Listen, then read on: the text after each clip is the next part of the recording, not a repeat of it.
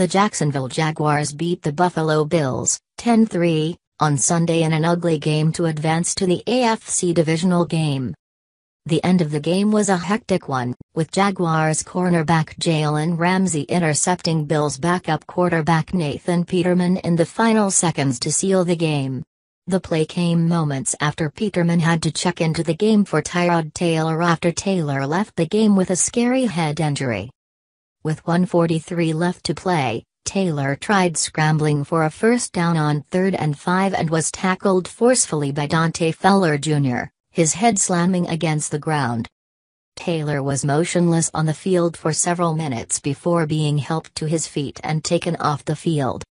That turned the game over to Peterman, whose brief time in the NFL has been an interesting ride. Peterman made a controversial Week 11 start when he replaced Taylor, surprising many. He struggled, throwing five interceptions against the Los Angeles Chargers before the Bills turned back to Taylor.